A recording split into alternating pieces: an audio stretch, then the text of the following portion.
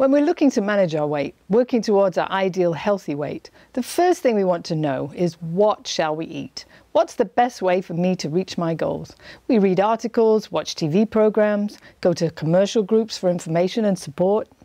Ask our doctors for help and advice. But what if the core premise of that advice was wrong?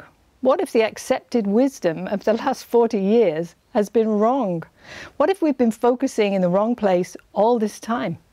We're talking about fat, the thing everyone who's looking to lose some weight is focused on reducing at all cost. The range of low-fat food is now complete. It's possible to buy low-fat all the way from low-fat chicken to low-fat chocolate bars. It's become the main marketing slogan for thousands of processed foods, and the first question dieters ask when choosing their food is, how much fat does it contain? So it's fair to say that over the last four decades, low fat foods have become a crucial part of our eating culture. In some situations, the low fat option is now the only option. And yet, the incidence of obesity has risen exponentially over those same four decades. We thought about this and decided to revisit recent history to get the lowdown on the low fat story. Let's go all the way back to the early 1970s when Richard Nixon was President of the United States and facing an election. He was under intense pressure from the public to lower the cost of food, and the way to do that was to lower the cost of food production, to lower the cost of farming. A new product, high fructose corn syrup, was developed and used to replace the much more expensive sugar. In one move, the cost of processed food manufacturing was slashed. Nixon went back to the White House, and high fructose corn syrup found its way into virtually every kind of processed food. About the same time, there was a heated debate about the rising rate of heart disease. After extensive research, some top professors like John Yudkin from the University of London argued that sugar was the main cause of this rise. But at the same time, powerful lobbyists from the food industry that was reaping the benefits of the cheaper high fructose corn syrup identified fat as the culprit. It was easier and certainly more lucrative for them to blame fat than to admit sugar might be the cause.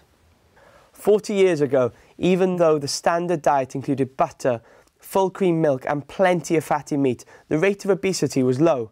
But fat was given its bad rap anyway, and the sugar industry enjoyed an increasing share in the massive market for low-fat products to address the problem. Margarine instead of butter, skim milk instead of whole milk, low-fat yogurts and cheese, and thousands of low-fat, no-fat processed foods. The debate stopped, and any attempts by scientists to do further research into the potential harm of sugar was actively discouraged. You know, high fructose corn syrup is one of the highest sources of calorie intake in today's average diet, so it's a huge issue.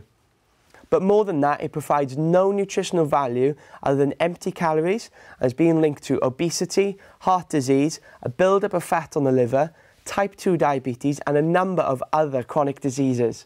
And many people are eating and drinking a diet of mainly processed food, so that even more of their daily calories are coming directly from high fructose corn syrup. The focus on fat as a direct link to heart disease and obesity has been driven by profit for almost 40 years. Thankfully, the truth of this is finally coming out and fat's bad rap is coming to an end. Of course, the sugar industry is pushing back hard with expensive advertising and lobbyists to protect its market share.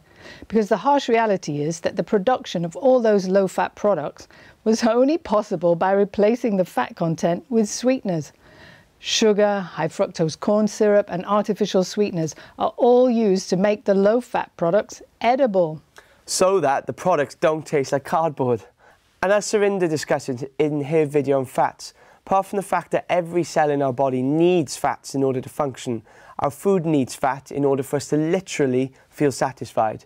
Although in the short term replacing fat with sugar makes the food edible, as far as our body is concerned, it's still not getting what it needs and so there's a desire to eat more. And ultimately, the low fat products work against us because we eat more of them in our search for the nutrients we need.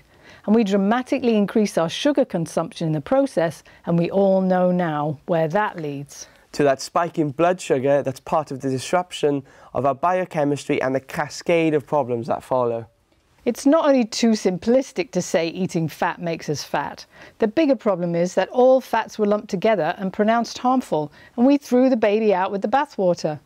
We now have a population with a highly skewed fat profile, actually deficient in the fats that are vital for good health. As the rate of sugar consumption has gone up over the last 40 years, so have the rates of heart disease, diabetes and obesity. Of course, we can't just draw a simple line between cause and effect here, but simple observation ought to at least provoke some serious questions. And we know it did provoke some questions, but the sugar industry has lobbied hard to ensure the discussion was kept to a minimum. That's what we're up against when we're looking for accurate information about our health. We need to dig around, ask who stands to gain from having us believe this information, and then make a choice that's also based on our own common sense. Yes, a multi-billion dollar weight loss industry has spent the past 40 years barking up the wrong tree. Built on a false premise. Whether that's sweets, chocolate, fizzy drinks or white bread, white rice or pasta, as far as our body's concerned, that's all refined sugar, feeding a deadly addiction. Thank goodness this is finally starting to leak out into the mainstream media. It's important we cut down on sugar and start eating healthy fat immediately. Not trans fat or hydrogenated fat, which we know has a bad effect on our health, but the good fats, the healthy fats that our body needs to be able to function. The essential fats found in foods such as coconut oil, ghee, avocados, nuts and oily fish like mackerel and wild salmon. They're called essential fats for a reason. They're essential for good health and they can even help us burn fat. Many vital processes in our body need the omega-3, 6 and 9 fatty acids that are found in these foods. But, like everything in life, it's obviously a question of balance. We can overdo it and we should definitely avoid the bad fats, but having half an avocado each day, a drizzle of olive oil on your salad, and a handful of nuts is good for your brain, your cells, and your health in general. And your weight. So let's not fall for the low fat myth and exclude good fats from our diet. Instead, let's work on our sugar consumption so we eat sugar as a treat and not as a staple.